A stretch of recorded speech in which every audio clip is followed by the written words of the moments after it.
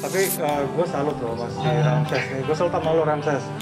Walaupun kena korban PHK, karena pandemi ini dia nggak ragu untuk berbagi Iya. dan, dan menggerakkan teman-teman untuk berdonasi uh, Al-Quran. Kenapa sih lu uh, kepikiran untuk uh, melakukan iya, donasi iya. Al-Quran ini? Akhir tahun Hmm.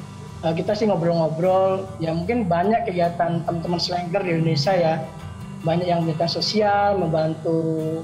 Kok kayaknya nggak ada ya yang berbagi Al-Quran gitu.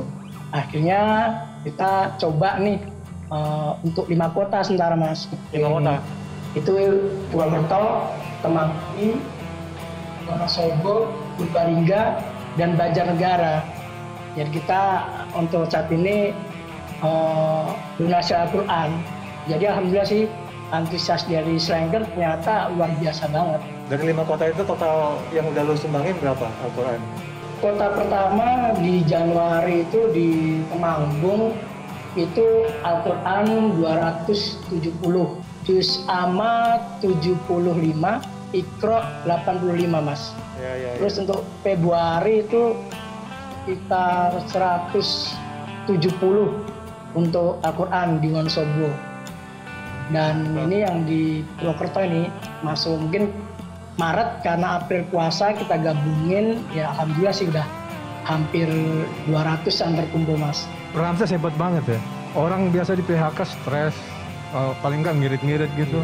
Dia malah bisa nyumbang Al-Quran. Ya Ramses jangan jangan takut untuk berdonasi, Ya, ya. bilang ke teman-teman karena banyak donasi pasti banyak Ya rezeki. siap mas.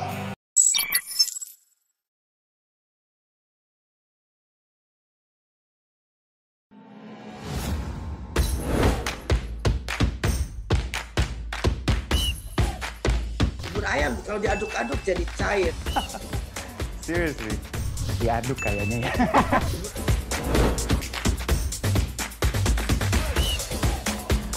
Mau pro luar negeri gimana ya? Ini, ini demi kemajuan bangsa Indonesia.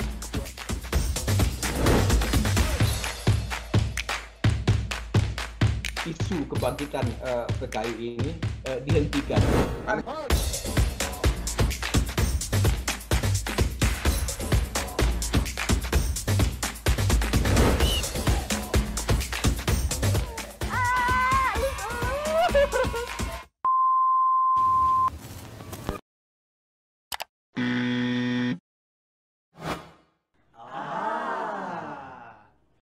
Medcom.id, a part of Media Group News.